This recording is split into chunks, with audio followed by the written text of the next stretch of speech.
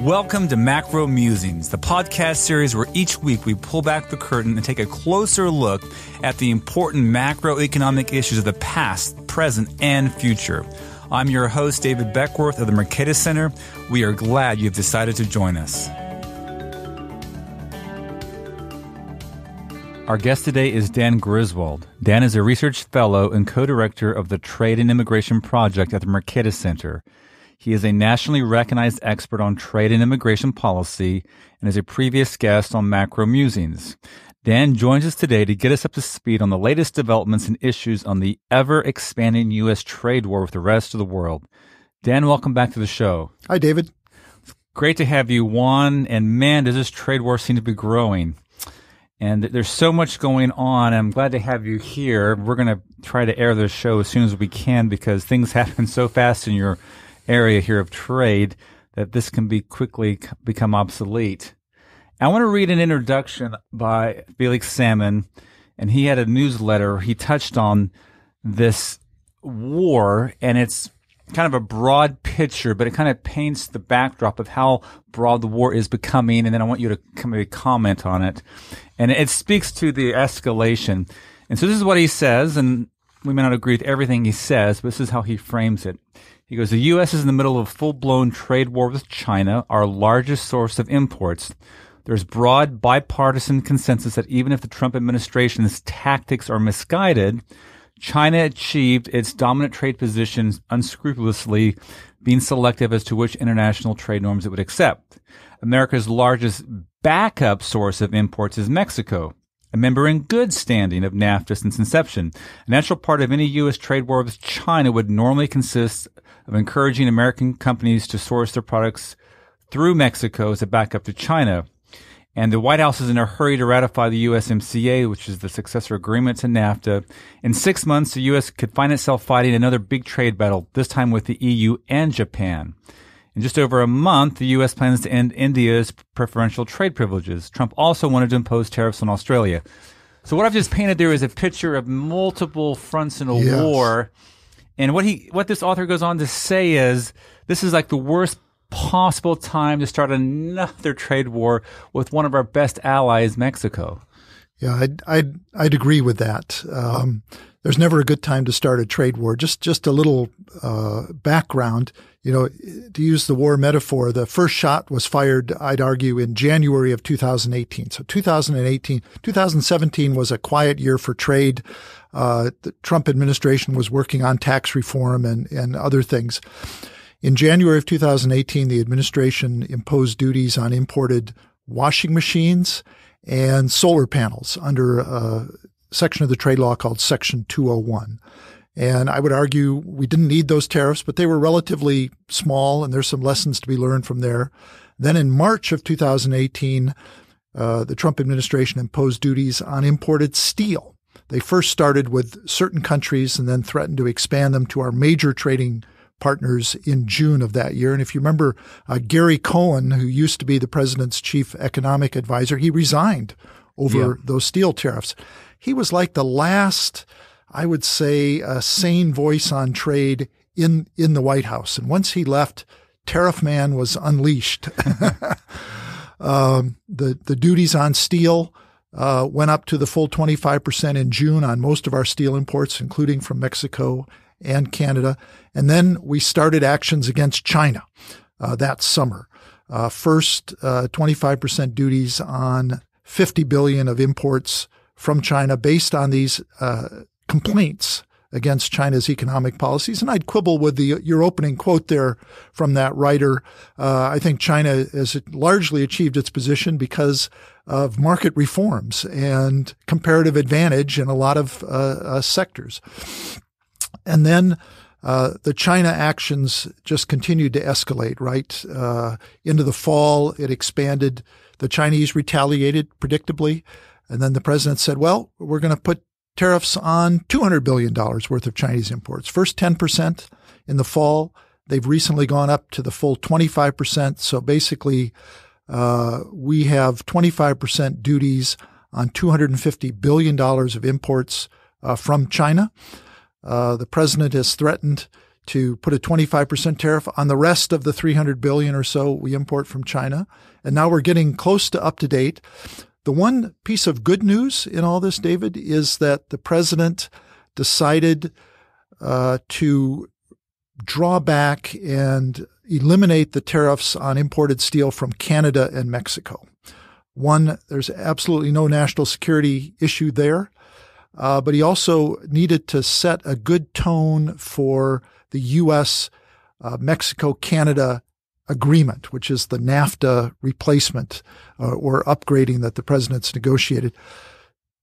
Two weeks later, after we had this kind of breakthrough with Canada and Mexico, the president announces by how else by tweet uh, that he's going to start imposing these escalating tariffs on Mexico, not over any trade issue, uh, but over immigration uh, at the border. So that kind of brings us where we're at. You're right. There's other issues uh, looming in the future. This threat against uh, Australia. Um, the president in a few months is going to decide whether to impose duties on imported cars as a, get this, a national security threat. You know, importing a Mercedes Benz or a Lexus from Japan is somehow a threat to national security. So it could get worse before it gets better, but we're in a pretty uh, bad spot right now. And uh, we're in a spot we haven't been for decades in terms of tariffs here in the United States. Yeah, and you know, one thing that strikes me about this is how much support he's received. And we'll talk about a little bit in, in a little bit about how he has gotten some pushback on Mexico from Republican yes. senators. Ted Cruz, for example, in Texas. But in general, he's received a lot of support from his party which is surprising to me. If you go back and look at Ronald Reagan and look at Republicans in the past, they were very different about trade. And this has probably been the most surprising change I've seen. You know, I consider myself right of center, you know, very sympathetic to, I, I love Ronald Reagan. I'll, I'll, confess. I like Ronald Reagan what, and his views on trade. Me too. And he's looking better all the time. Yeah. And it's just, it's just, I'm shocked how far we've come from Ronald Reagan to Donald Trump when it comes to views on trade. Yes. Well, it's it's complicated. Uh, first, China. China is a very unsympathetic foreign character, right? Their government is uh, uh, oppressive of the people. They do violate uh, a lot of norms of international uh, commerce. And, and I would basically agree that there, we have some real issues with China having to do with intellectual property, how they treat foreign investment. And then, of course, the whole geostrategic thing about the South China Sea and Taiwan. And we've got some real issues with China. They are not a friend the way Mexico and Canada and Europe and Japan right. uh, are. But uh, tariffs are not the right approach there. Uh, and so that's where I would diverge from a lot of the China hawks on how we go about best remedying that. And uh, happy to talk about that in a moment. But then, of course, politics. Uh, Republicans are uh, hesitant to challenge their their leader, the the their, their man in the White House, and that's been disappointing. One on economic grounds, and you're right. Republicans they used to be the protectionist party, you know, back in the days of Herbert Hoover. They became the more pro free trade party in recent decades, led by Reagan and others. So Republicans should oppose the tariffs on economic grounds. But then you get the, the politics mixed in. They're just hesitant to challenge uh, their leader. One other good reason to challenge the president on tariffs is constitutional grounds. Congress should be protective of its turf. Uh, Article 1, Section 8 of the Constitution is very clear. It is Congress and Congress alone that has the authority to regulate commerce with foreign nations and to impose duties on imports. And this pre- Congress has given presidents limited authority over that. This president has rammed through those limits uh, with a high speed truck and totally abused uh, the trade law. It's an awful crash scene he leaves behind. A big mess in his wake. You know, we've had Doug Irwin on the show, great economic historian, trade historian. One of the interesting things I learned from him in his book that we talked about is how both parties used to support trade. And one of the big motivations was foreign policy. We're fighting communism. Um, it was West versus the East. And, and it all kind of comes to an end when, when you know, the Berlin Wall falls and communism collapses. And soon after that, you see the Democrats start to be very more critical of trade policy. So like getting NAFTA passed, Republicans were still free trade, Democrats begin to question it, although it was you know, Bill Clinton that, that actually helped finally push it through. But you, you see the cracks emerge, I guess, Yes. after that period. And now we're seeing even more cracks emerge in kind of the last, you know, few free trade, um, politicians out there. Yeah, D- David, I agree with that. And there there were cracks showing in the 70s. I think uh, the the movement of organized labor, organized labor used to tentatively support trade liberalization back in Eisenhower and Kennedy and Johnson years. They started to become more skeptical in the 70s and the 80s, and of course they're a cons- key constituency of the Democratic Party. So you started to see some of this break. Uh, and yes, it accelerated in the 90s. NAFTA, 40% of House Democrats voted for NAFTA. So there was still, that was a bipartisan uh, ag- agreement. Uh, but you're right. It became more partisan. The irony today is President Trump, of course, has, has scrambled that, hasn't he? He's the, he's the protectionist in chief uh, and a Republican. And what you're seeing in terms of uh, public public support is actually the public support for free trade is at something of a high, but the composition has changed. Republican rank and file Republicans are becoming more skeptical of trade. They think, well, Trump is saying it's there's something wrong with it. There must be something to that. Democrats are swinging more in favor of trade. So the politics of trade have become more complicated than ever. more disappointing than ever. but in the event, you know, we, we need to move on and, and talk about some of the actual more recent developments. And let's talk about China. You've touched on it already. Um, you, you've mentioned that there's an additional 300 billion that could have additional tariffs. So that takes us close to or over 500 billion if it Yeah. were to be passed. virtually every every good that we import from China could be subject to a 25% tariff by later later this year. Yeah, the administration, uh, uh, the U.S. Trade Representative Robert Lighthizer, he's a chi- longtime China hawk. Uh, they produced a Section 301 report on China, which had a lot of good factual information in it. It cataloged the various ways that Chinese actors violate intellectual property. Uh, China restricts uh, foreign investment in China. Uh, and so kind of the, the indictment had a lot of truth to it. Um, where I think the administration has gotten off track is when they tend to exaggerate uh, the impact. They they minimize the gains that we enjoy from trade with China, and they are substantial for tens of millions of of Americans. And they've exaggerated the costs, and then of course the response of these escalating tariffs are all out of proportion to anything China has done. I've said it before, and I'll say it again the Trump administration's tariffs are doing more damage to the U.S. economy than anything uh, China has done. Yeah, so there's also effects happening in China that we may not like, not just cost to the U.S. economy, but, but cost to how China's being operated, who it interacts with. I was reading the Wall Street Journal today how Chinese and, and Russian officials are now getting closer together because Yes.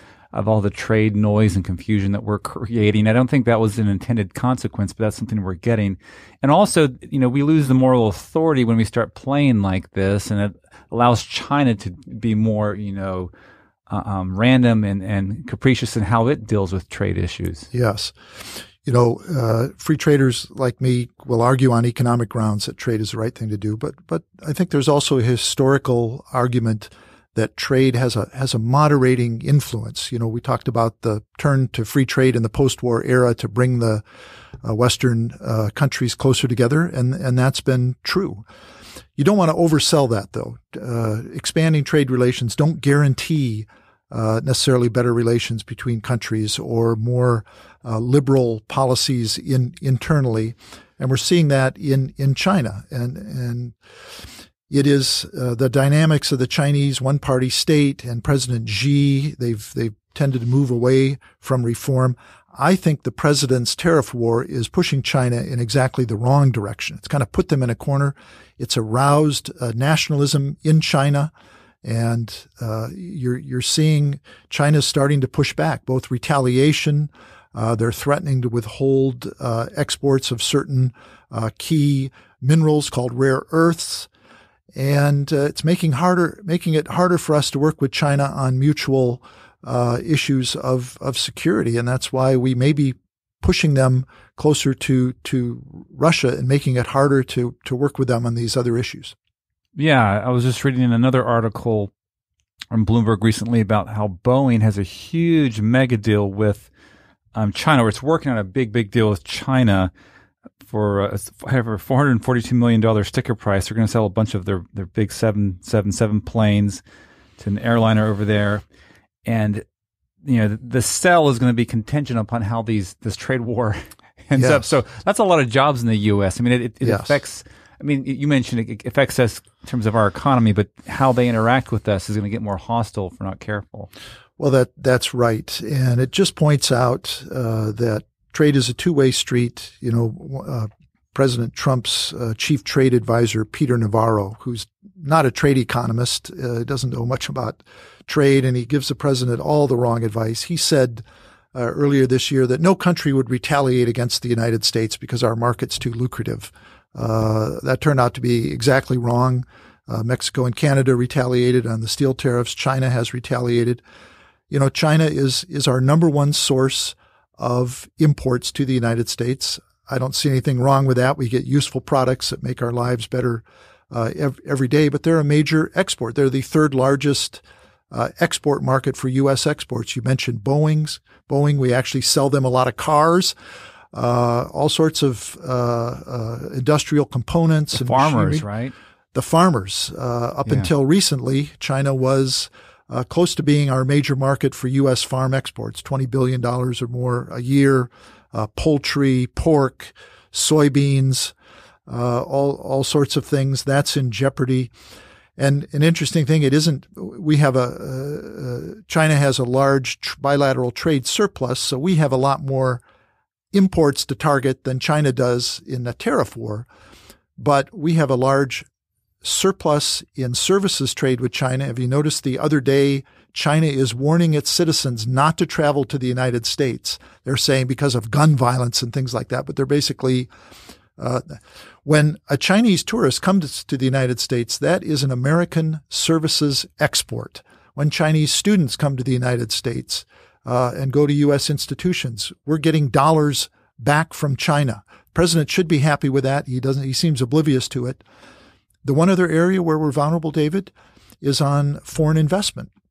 U.S. companies sell uh, far more goods and services in China through their affiliates than we export to China. It's something like $350 billion Huh. of U.S. branded goods and services sold in China through majority owned affiliates in China.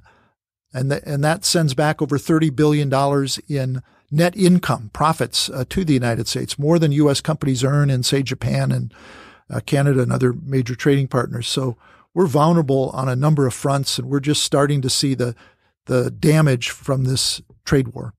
Yeah, we'll come to the cost in a bit. There's been some estimates actually made of, of this trade war. I want to hold off for a little bit. And I just want to also remind our listeners two things. One, China right now is no longer accused of currency manipulation, right? It's, it's, it's kind Correct. of a, maybe a decade ago you could say that it's not true now. Also, there was a different way to approach China. So China does have real issues. We all acknowledge that. There's the ones you mentioned. And, and the most maybe safe and comprehensive approach would have been Trans-Pacific Partnership. That that would have been one one approach. So yeah, just very very quickly, my my view on China is we have real problems. Intellectual property theft is the biggest problem. Theft is theft, uh, and that does cost U.S. companies either lost sales or royalties that they should uh, collect. But let, first, let's put that in a little bit of perspective. Uh, middle income countries from India to Brazil around the world ha- have a problem enforcing intellectual property. They don't have great incentives uh, to do that necessarily. Uh, the U.S. Chamber of Commerce rates the 50 major economies in the world in terms of their treatment of intellectual property. China comes in at about the middle of the pack. They're, in fact, they're 25th out of Huh. 50 nations. They actually have a better record on intellectual property than some of our major trading partners like uh, Brazil. Uh, China is one of the major payers to the United States in royalties for use of intellectual property. It's over $8 billion. They rank as one of the top three or four payers. That number's gone up dramatically in recent years. Uh, so uh, to just to put that in perspective, and also the U.S. International uh, Trade Commission did a study of Chinese intellectual property in 2011, and they estimated U.S. companies were losing about $48 billion in sales. That's a, that's a significant number, although it comes in at about 1% of the total sales of IP intensive companies that do business uh, in, in China. Um, so put it in perspective. And then, then the question is, what do you do about it? And I think we are better off going directly after the bad actors in China who are violating intellectual property. And we've done that. We've brought uh, sanctions. We've brought cases through the Justice Department. Uh, that goes right after the bad actors, it disincentivizes them to abuse the law, and it minimizes the collateral damage. Uh, you know, uh, uh, Huawei, the technology company, I, I, don't know if the charges against them, uh, what weight they have, but at least uh, there we're going after the company that is allegedly responsible for the abuses rather than saying uh, uh, China's violating intellectual property rights. Therefore, tens of millions of American consumers are going to pay more the next time they go to a big box retailer. There's no connection uh, there. Uh, foreign investment in China, they do have restrictions, although there again, they've moved in a liberalizing way. The charge there, David, is that if you have a joint venture with a Chinese company, they can force the U.S. partner to transfer their technology to the Chinese partner who will eventually use that technology on their own to set up their own shop and then compete against the U.S. company. And, and that happens. Although our, our sales in China continue to grow, I don't think we're, we're losing sales overall. And China's gotten more liberalized. The share of foreign companies that have to join joint ventures has been dropping uh, significantly. It used to be the large majority. Now it's uh, well well below uh, half. Seventy or eighty percent of investment in China is now a wholly foreign owned, and you don't have the technology transfer. And they're continuing to liberalize in the automobile sector, in the financial sector. So uh, let's use the tools available. You mentioned uh, rejoining the Trans Pacific Partnership which sets higher American style standards in that part of the world. We should be a part of that. Um, bringing specific actions uh, through legal channels. Uh, we should bring more cases in the World Trade Organization. Uh, we've brought over 20 cases against China over the years. And according to a study by our friends at the Cato Institute, uh, the Chinese have moved in a market direction virtually every time. Maybe not completely, but they've taken action and moved in the right direction. We should be filing more cases in the WTO. Instead, this administration is strangling the dispute settlement mechanism in the WTO by uh, vetoing the appointment of new uh, appellate judges. So let's use all those tools available and back away. I'd like us to immediately repeal all the tariffs we've imposed against China. They're self-damaging. They haven't borne any fruit. We seem to be further away from an agreement uh, than ever. And I think it would set a more positive tone in our relations with China. Okay, those are all great suggestions. Just real briefly, we, we had a guest on in a previous episode, Mike Bird from the Wall Street Journal. We talked a little bit about China's threat of dumping its treasuries, and he didn't find it a very, very credible threat. What, what is your take on that? Yeah, David, you I think you're more of an expert in this area than I am, but no, I don't take it as a real credible threat either. China China owns, I think, about a still owns about a trillion yep. dollars worth of treasury. They haven't been a big net buyer in recent years. Um, they've got a trillion dollars in assets locked up. They don't they don't have an incentive to depreciate the value of of those assets. They're an attractive, safe, liquid investment for them. Uh, I just don't see them uh, doing that. Okay, well, let's move on to Mexico, and, and let's talk about this new tariff that he's imposed, 5%. And wh- what do we know about the origins of this? What what happened that caused him to do it? And it was announced via Twitter, so it wasn't like done through official channel. So what what do we know? Yeah, yeah. so uh, the the president has threatened to impose a five percent duty on all imports from Mexico starting on Monday, June tenth. If if they don't uh, sort out the problems at the border. He's basically telling Mexico, you need to stop the flow of illegal immigration into the United States. Most of that doesn't come from Mexico. It comes from Central America. They travel through Mexico and then uh, try to enter the U.S. through our border. He said uh, that's going to go up to 10% on July 1st, 15% on August 1st, through to October 1st, where it'll be 25%. That seems to be the president's favorite tariff at 25%. No, this is tariff. a novel approach for handling immigration issues. Is that right? It, com- completely novel. okay. Yes. Uh, and the president is, uh, you remember he declared a national emergency uh-huh. at the border, and that was to get more funding for his wall. The president has cited uh, a, a U.S. law. Let me see if I get this right. It's the International Emergency Economic Powers Act of 1977. And that was an act by Congress that consolidated a lot of other emergency laws and tried to give more uh, definition and, and really constrain the president's um, uh, range of a- activity. It's a complete abuse of that law. Um, that law has been used a number of times, but in virtually every case, it's been to freeze the assets of a hostile rogue regime. Think Iran, uh, after the hostages were taken in 79 and Iraq leading up to the war and things like that. Uh, I've been told by experts that it's never been used up until now to impose tariffs. It's never been used against a friendly regime like Mexico, and it's never been used for something like uh, immigration. I think, David, I don't think it's much more complicated than the president was probably watching CNN or Fox and getting frustrated about the rising number of illegal apprehensions at the border. Uh, of course, he can't blame his own policies. Uh, he's not getting much cooperation from Congress, so he's blaming Mexico, and he reaches for his favorite tool, uh, the tariff, to to bring Mexico to the table to get them to do something about it. It's such a bad policy on so many levels. Uh, we're actually even finally seeing Congress uh, getting uh, aroused to protect its turf. And it's quite possible, maybe not probable, that Congress will pass a disapproval resolution that would nullify the president's tariffs and maybe even muster a veto proof majority, which they would have to do to make that go into effect. Yeah.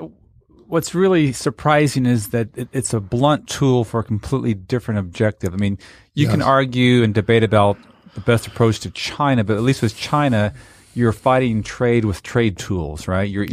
you know, tariffs because we think China's not being fair with trade. But here you're fighting immigration issue with trade tools. Yes. It just seems to be, you know, very inconsistent. And the other thing I've heard you say and others say is that this also could backfire. If you start punishing Mexico, what that does is it could harm the economy down there, which creates an incentive for more immigrants to come into the U.S. The very thing he's trying to fight. Yes, uh, you know, I use the word irony a lot when I talk about yeah. this administration's trade policy. And here's yet another irony. Yes, if and and Mexico is vulnerable. Uh, something like eighty percent of their exports go to the United States. Wow. So if we start imposing significant tariffs on it, it is it's going to hurt us. It's also going to hurt uh, Mexico. And yes, if their factories start closing down, and unemployment rises in Mexico, uh, where are some of those workers going to look for a safety valve? They're going to want to come north to the United States where the economy is performing relatively better. Mexican migration has actually been a net negative over the last decade. More Mexicans going home because the economy's been relatively stable. There have been these relatively well paying manufacturing jobs in Mexico, which was part of the intention of NAFTA to make the Mexican economy more healthy so that fewer Mexicans would want to immigrate to the United States uh, Ill- illegally or, or otherwise. So it's just yet another reason why the president's threat of tariffs against Mexico are a terrible policy option. Tell us also about the, the number of times a product might cross the border. Yes this whole idea of global supply chains? Well, you know, in looking at the reasons why tariffs against Mexico are a bad idea, one is the, the consumer impact, uh, higher prices for fruits and vegetables and consumer electronics and automobiles. Uh, but the second is you're exactly right, the effect on integrated supply chains. What NAFTA has done, why NAFTA made so much sense on so many levels, is it created an integrated North American manufacturing platform. Uh, nowhere more important than the automobile industry. The U.S. has a healthy automobile industry. It's different from what was thir- from what it was 30, 30 years ago. Uh, but it's a healthier, more competitive industry. We're exporting more cars, more than 2 million vehicles exported from the United States each year. That's a record number. We've never exported that many vehicles. And it's because of this integrated supply chain. We do the higher end stuff here. Mexico does a lot of the, the lower end stuff or the lower value vehicles. And, and to your point, David, in that integrated supply chain, I've been told that uh, automobile parts can cross the border seven or eight times in the course of production. And the zero tariffs make all the difference there, right? Because it's virtually frictionless. Well, if you impose a 5 or 10 or 25% duty on a part every time it enters the United States, and if supply chains are set up that that, that part's going to enter the United States and leave uh, seven or make, make four round trips in the course of production, you're not talking a 25% tariff, you're talking a 100% tariff, which of course means you won't have that. And you can't just, the, the White House says, well, just make it all in the United States. Well, you can't reconfigure billions of dollars of investment in automobile factories uh, overnight.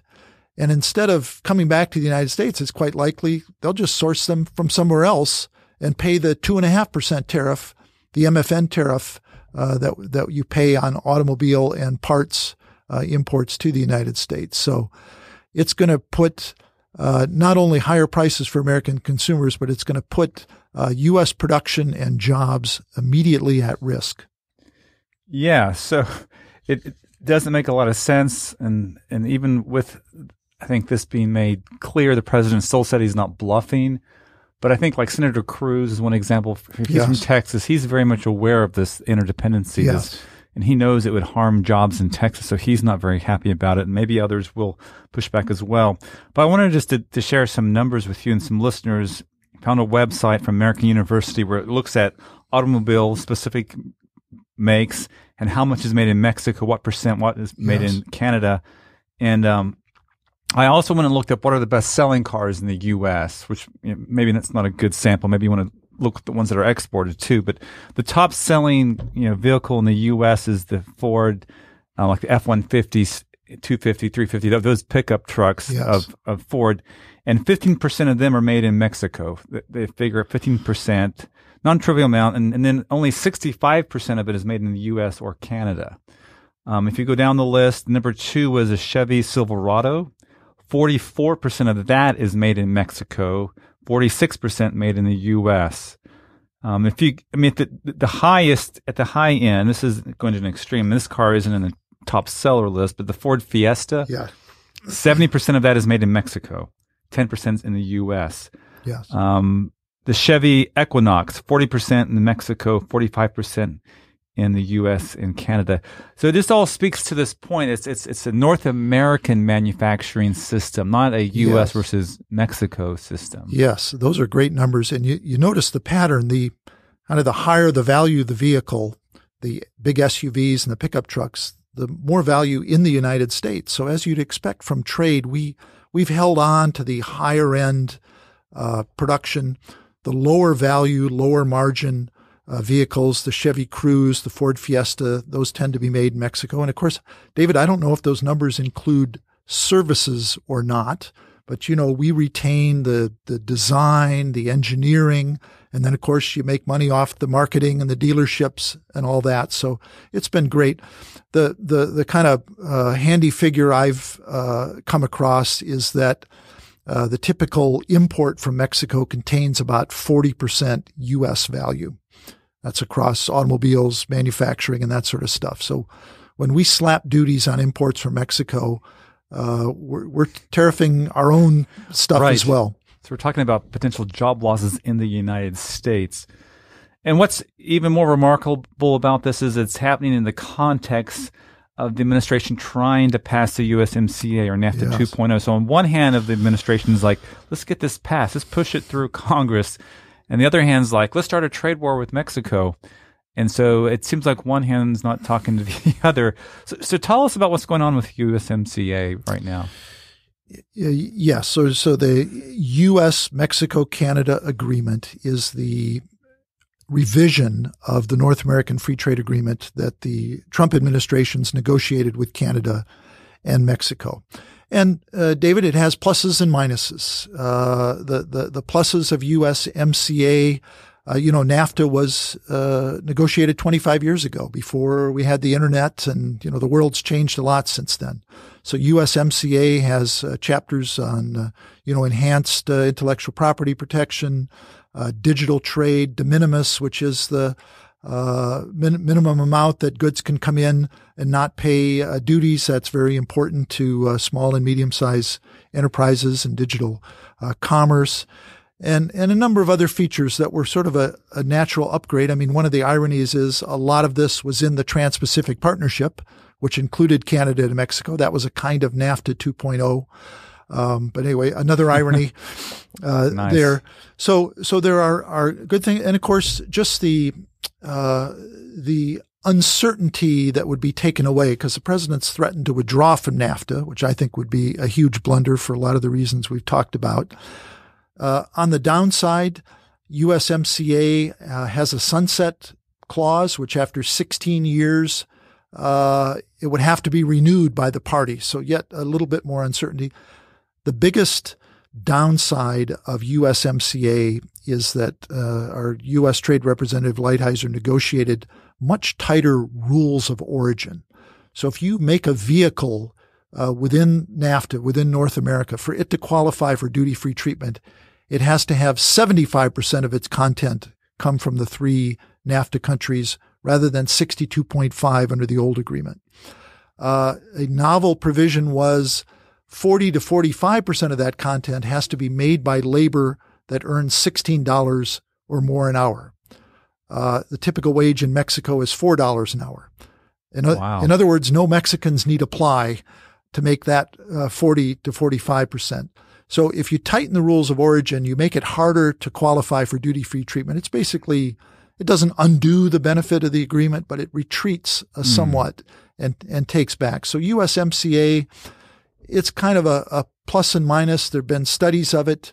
Uh, the US ITC said it would be a net, a modest net economic positive, largely because of the uh, reduction in economic uncertainty having to do with the digital trade provisions. The IMF looked at it and and said that uh, the auto rules of origin provisions would have a, a negative effect, which would offset a lot of the positive effects. So it came to close to zero uh, effect. So those are the economics of USMCA. The politics of it, Republicans are very much for it. Democrats remain skeptical. There was momentum building for USMCA only two or three weeks ago when, as I mentioned earlier, the Trump administration uh, eliminated the duties on steel imports from Mexico and Canada. That was a major irritant. And they had imposed retaliatory duties uh, on a lot of U.S. farm products. So you had uh, key members of Congress like the Senate Finance Committee Chairman Chuck Grassley from Iowa, who basically said, You're not going to get USMCA until you get rid of those steel tariffs so that we can have free trade in agriculture with Canada and Mexico. The administration did that. And then Two weeks later, or whatever, the president announces that he's going to impose duties against Mexico. Mexico's been a grown up about it so far. They've tried to negotiate, but we could we could be right back to having right. retaliatory duties on uh, pork and dairy from the Midwest. And so USMCA is uh, its prospects were always going to be challenging, but I think uh, the chances of it getting passed this summer uh, really a key date before the August recess. And then, believe it or not, the presidential politics sort of kicks in after that. That window is closing rapidly, and the president's tariffs against Mexico are maybe are going to shut that window entirely. So, if we don't get the USMCA, does NAFTA continue to operate? Yeah, yes, it does, and that's there should be no confusion about it. Uh, NAFTA is the status quo. Okay. The president could turn around and say, well, if you're not going to pass USMCA, we're going to get rid of NAFTA. I think there would be tremendous pressure on the president not to do that from the business community, from Congress. But with this president, who who knows? Well, the good news, I guess, then is he, we're not blowing up NAFTA. It's just that the, the new version of NAFTA may not pass. So we still have the integrated markets and all that. Correct. And I, uh, you know, there's things that need to be modernized from NAFTA, Sure. but NAFTA as it is, I will defend for the rest of the day okay. that NAFTA was a good thing and has served our country well. Yeah, and one of the key themes I hear you saying is just the uncertainty. It, you know, it's one thing if you want to have a conversation about whether a country's being fair or not, but you want to do it in a predictable, systematic way. You want when businesses make long-term, big investments, billions of dollars in factory plants, Yes. and on a whim, the president says yes, no, yes, no, yes, Yes. no, and does it on Twitter. It's hard to plan. It's hard to spend money, and therefore there's fewer jobs, fewer wealth creation. So um, that is, that's troubling. I guess the uncertainty that's been created. You're, you're exactly right. I mean, tariffs have a quantifiable negative impact on the economy, but uncertainty also has an, an impact. We, we published a study uh, a couple of years ago by uh, uh, Professor Bob Krol from the University of California, which uh, showed that uncertainty reduces trade and reduces uh, e- economic activity. But here we have a president who not only likes tariffs, but you know, it's part of his operating method to create a lot of uncertainty and then use that in, in his art of the deal to get people to the table and then come to a better deal. But of course, that uncertainty has a real business cost. Yeah. Well, let's talk about the economic impact of all the tariffs since 2018. Yes. What do we know? Any studies been done that have estimated what the costs are? Who's bearing the costs? Yeah, glad, glad you asked that. Okay. Uh, yeah, and as we discussed, the trade war really kicked off, and it is a trade war, I think, by any definition. It really kicked off in January of 2018. So 2018, we had kind of a real world experiment. We've had post-war decades of declining trade barriers, and I'd argue that served our nation well. 2018, we took a significant turn back. It, just so happens the uh, National Bureau of Economic Research uh, economists and economists from the New York Fed uh, did a comprehensive study that was published by NBER uh, a month or two ago, looking at the president's tariff wars in 2018 and attempting to quantify using general equilibrium models the effect of those tariffs. And David, just to give you a scope, uh, when that study was published, uh, they counted $283 billion in imports to the United States that had come under tariffs ranging from 10 to 50 percent because of the president's tariff actions on appliances, steel, imports from China. The retaliation, and that covered about 12 percent of U.S. Uh, imports. The retaliation uh, covered 121 billion of U.S. exports. That's about 16 percent of our exports. Uh, and the study came to a couple of, I think, headline kind of conclusions. Uh, one, uh, they determined that the cost of the imports that the U, uh, the tariffs that the U.S. had imposed on imports, that cost fell almost entirely on U.S. consumers. Yes, it hurt Chinese companies and lost sales and that, but the cost increases got passed on almost entirely to the United States. Just a little quote from the study. Close to all of the cost of the 2018 U.S. tariffs has been borne so far by U.S. consumers and importers. Who's paying those billions of dollars in tariff that the president brags that he's bringing into the treasury? It's you and me and tens of millions of, of Americans going about their business every day. The other determination, David, was uh, it has a net negative effect on the U.S. It's forced supply chains to be uh, reconfigured. It's it's forced us to move to less efficient ways of producing things. They calculate the monthly the monthly cost is about 1.4 billion dollars. That's roughly the cost of, of one of these bomb cyclones that has hit uh, the the Midwest. So our own government is sending a bomb cyclone to the heartland uh, once a month, based on the president's tariff war. Those numbers uh, uh, fell a little bit when the president uh, lifted the tariffs against Canadian and Mexican uh, steel, but they're prepared to go. They're they're ready to go up if he follows through on his action against Mexico.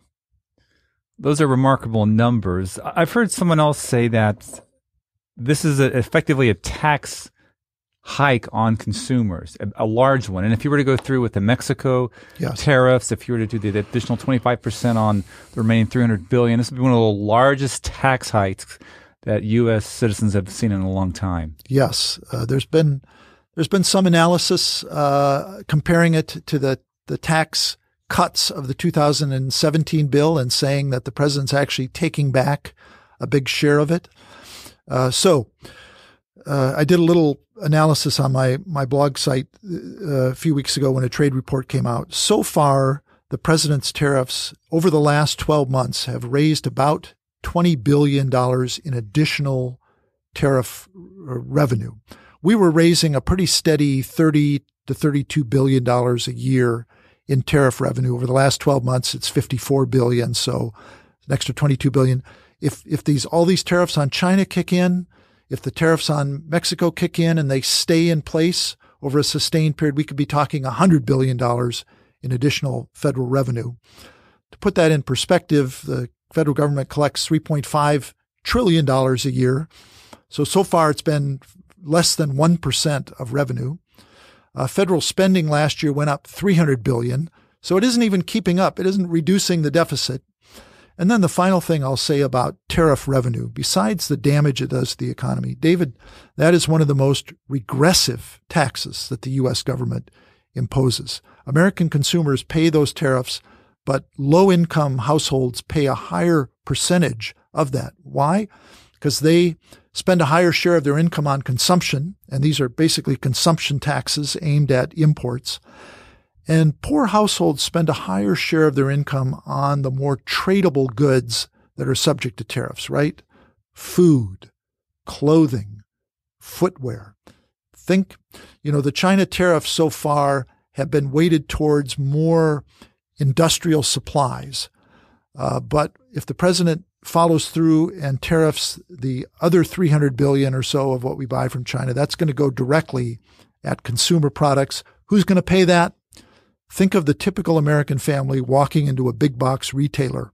Their prices are going to go up. Walmart and others have said they'll have no choice but to raise prices. And and and those tend to be more Trump voters. That's how many times have I used the word irony in our discussion? Right. It's another irony of the president's uh, tariff policies that uh, they are striking hardest at Trump voters and red state America. The coastal elites will miss much of this, but people who shop at Walmart will bear the brunt of it. That is very ironic.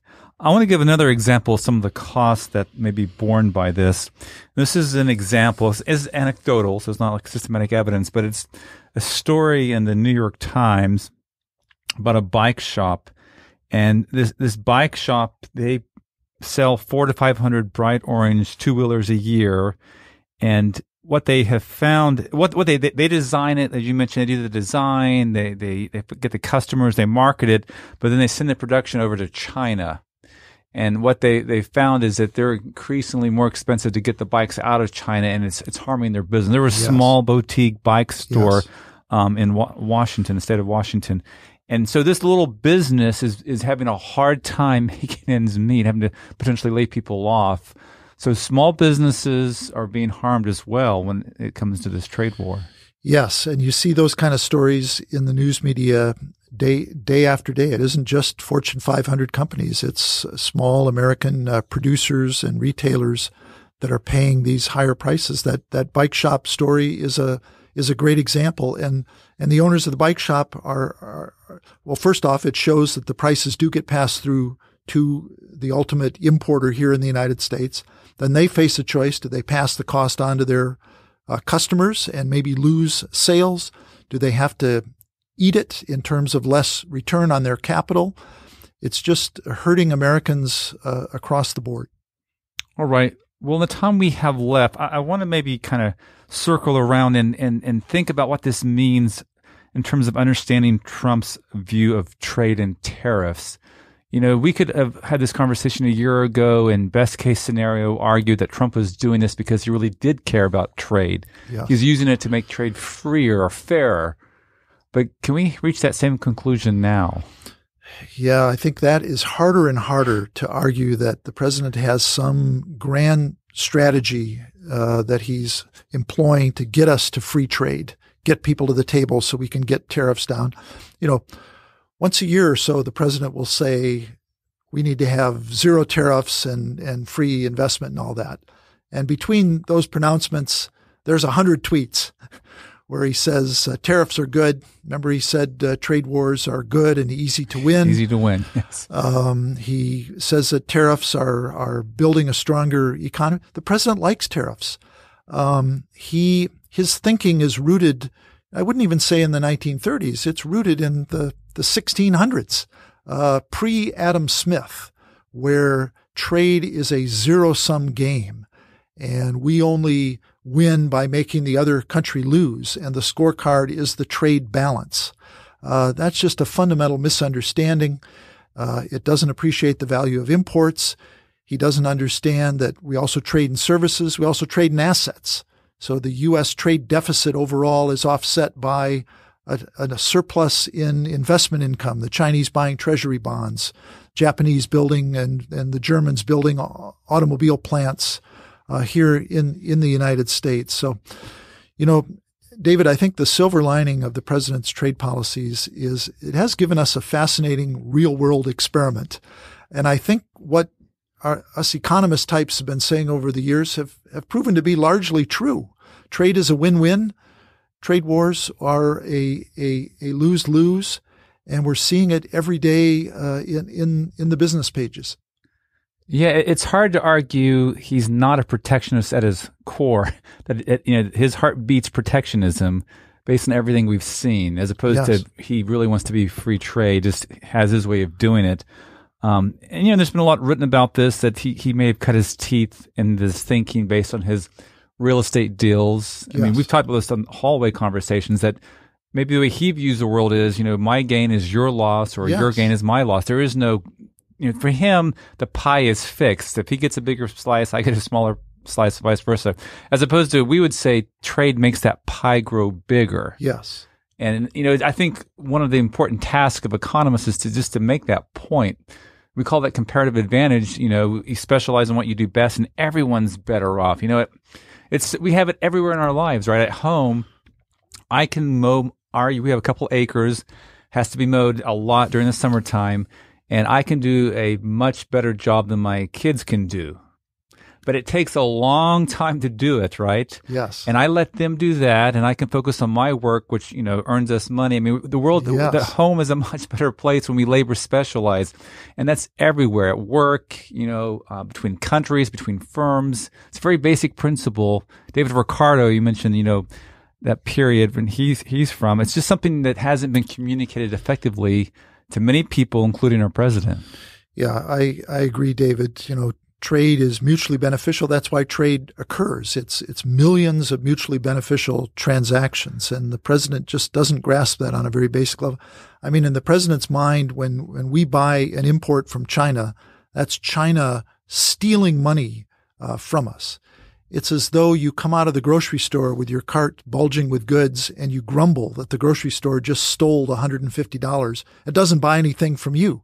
Well, no, you got these great, great products right. and the money circulates uh, around and, and comes back. So, you know, it's a, it's a teachable moment. I think we shouldn't be too hard on ourselves, David, as a, as a kind of economic education profession. The polls show Gallup has asked attitudes towards trade over the years, and support for trade's at something of a, a relative high. I think, I think a majority of our fellow Americans grasp at an intuitive level, if not down to a theoretical level, that that trade is good. It's good that we can bring in fresh fruit and vegetables uh, from Mexico and have more competition in what kind of cars we buy, and be able to buy uh, shirts for $10 or $5 from Bangladesh or wherever and use that money to take our spouse out to eat uh, that that night. So trade is good. That, and and finally, isn't this a lesson that ideas have consequences? The president, unfortunately, has some bad ideas that he's had for 30 years. This is an area where he's been consistent. If you look at Donald Trump's clips talking about trade 30 years ago, the target then was Japan, but it's eerily similar. Japan's taking advantage of us. We have a trade deficit. they're ripping us off. We need to have a 20% tariff. Now, now it's just China. Uh, but bad ideas have bad consequences. And unfortunately, we're seeing that working itself out right now. Yeah, so it will be interesting to see what happens in this next presidential election. So, I mean, he's already set the stage for a more protectionist, inward looking approach to the world. And the, and the thing that also concerns many is just not what's happening now, but what's happening in the future. All these institutions, global supply chains, um, institutions like the WTO you mentioned, yes. things that are breaking down because of what we're doing today. Yes. And then on top of that, we have this presidential election, and it'll be President Trump running against you know a number of Democratic candidates who, on many of these issues, may agree with him and willing to push yes. the envelope even farther. So I, I, I worry that we're we may be pushing more and more away, even though you say most Americans do support trade, as the polls indicate. My concern is we're, we're getting awfully close to a precipice where maybe there'll be some real and lasting damage to global trade. Yeah, I, I agree with you, David. It's a it's a pivotal moment for the Republican Party. Is is President Trump going to redefine them as a populist party, a nativist party that is skeptical of trade and, and hostile to immigration? That's a big question. And then for our our friends uh, among the Democrats, are they going to, uh, in effect, uh, mirror what Trump has done and, and try to double down on it. Bernie Sanders is as much a protectionist as as the president. Or are they going to sound a more centrist, traditional bipartisan approach on trade, which Joe Biden has is uh, uh, sounded like he's going to do? So. That's, know, that's true. So there are there are different types of Democrats. I shouldn't put them all. Correct. There's one. divisions within yeah. within both both parties. There's a core of 25 or 30 Democrats in the House that consistently vote uh, for for trade. I almost hate to admit this in my line of work, but trade is typically not a pivotal issue in presidential politics. It gets talked about, uh, but I think the issues in 2020 are going to be uh, different than trade, but it's still going to be telling which which direction the two parties go as they duke it out. We know where the president stands. Uh, is the Democratic nominee going to stake out a more trade friendly position, or try to outdo the president in terms of protectionism. Well, just one example. So Senator Elizabeth Warren just recently announced a new, you know, very ambitious economic program as part of her platform running for, for president. One of the items on that list was to manage our currency eh, in a way to offset yes. currency manipulations elsewhere in the world. So that's very much a trade focused concern. And I know she's invoking what you know it, advocates say a very systematic rules based approach, but it's still it's it, it's a it's a step in that direction towards more intervention in in yes. our currency and trade, which to me is again it's it's a symptom that we're moving maybe on the margin a little bit away from where we've been with free trade. And and I want to be you know to, we've been very gung ho about trade on this show. I, I acknowledge all the concerns globalization has been very rapid. There's been a lot of losers as well as winners, and maybe we need to, we do need to do more about those folks. But it, it is concerning that we're moving, I think, incrementally away from what we had. Yeah, it it is concerning, and that the dynamics in both parties, their bases tend to be pulling the candidates in a more populist, interventionist direction, and that should worry us in a broad front, but uh, including on trade policy. Okay, with that, our time is up. Our guest has been Dan Griswold. Dan, thank you for coming back on the show. Glad to be here, David. Macro Musings is produced by the Mercatus Center at George Mason University. If you haven't already, please subscribe via iTunes or your favorite podcast app. And while you're there, please consider rating us and leaving a review. This helps other thoughtful people like you find the podcast. Thanks for listening.